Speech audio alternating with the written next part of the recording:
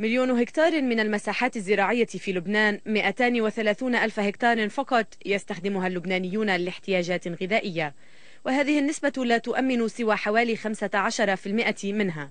أما باقي غذائنا فنستورده من الدول القريبة والبعيدة. لبنان بسهوله وجباله ومناخه المتنوع وثروته المائية يستورد 90% من حاجاته من اللحوم الحمراء و60% من الدواجن.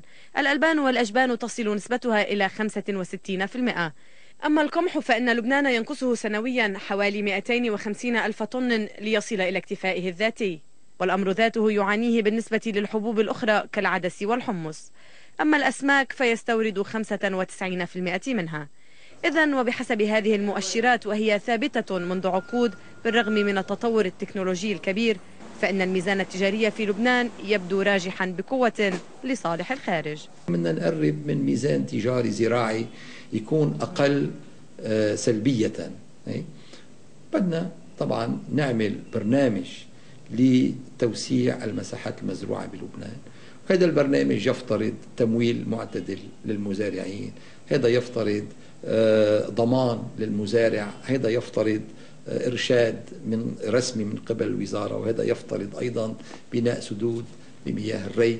وطبعا آه، إعطاء حوافز ضريبية للمزارعين. أوضاع المزارعين حالها حال ميزاننا التجاري لم تتغير منذ سنين. بالرغم من توالي الوزارات التي دائما ما تعد بتحسين الحال. المواضيع كلها اللي عم يشتغلها الوزير أنا عم شوفها ضد الزراعة عندنا بلبنان. بس هو عم يشتغل نحن عم نشوفه عم يطلع. والله عم نشوفه نحن ما عم يشتغلنا شيء أبدا أبدا أبدا. ولا عم يساعدنا بشيء نهائيا نهائيا. هو بيقدر يقول اللي بده إياه بس بده يسمع كمان. اولا البطاطا أكثر من اللي عملته ما بينعمل. بس البطاطا ليش مختل السوق؟ معلش. السنة الماضية كان مختل السوق؟ لا. السنة ما ينسى حضرته اللي بعت الرسالة.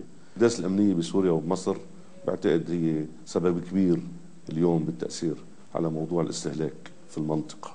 زراعة بيشوفوا لها أنه بيشتغلوا فيها الناس الفقراء الدرويش اللي ما ما حدا سائل عنهم. في في قرار بهذا الحكي. بعتقد لما بسنتين الموازنة تطلع لل 100 مليار ومشينا مشروع الحبوب وإدال. وهلأ مشروع الآلاف حيمشي ومشروع الأسماك مرفوع لمجلس وزراء. ولما بلشنا طرقات زراعية وبرك تلية لما وسعنا مصلحة الأبحاث لما فتحنا مراكز إرشادية بس كمان المزارعين بدهم يلتفتوا إنه في 20 سنة من الخراب بالقطاع الزراعي ما فيهم يطلبوا بسنتين تصحيح كامل. أنا بلاحظ من حديثه اوقات كثير مع حبي له واحترامي له بحط أوقات كثير الحق على المزارع. المزارع رجال بسيط شو ما بنواجهه نحن هو بيعمل. حكي غير صحيح. لما في حق على المزارع بقول على المزارع في حق على الدولة. صار لي ساعه بحكي على الدولة. مؤثرة الحكومة الحالية؟ طبعا. بكثير إشياء. شو المشكلة يعني شو اختراع؟ يعني إنه نحن بظروف كثير صعبة. هذا القطاع المهمش خيرات أرضه تخرج ما هو أغلى من الذهب شرط الدعم اللازم من الدولة. فهو قطاع لا يؤمن الاكتفاء الذاتي فحسب بل يعد بأمن غذائي لبلد اعتاد الارتهان للخارج حتى زراعيا. نوال بري قناة الجديد.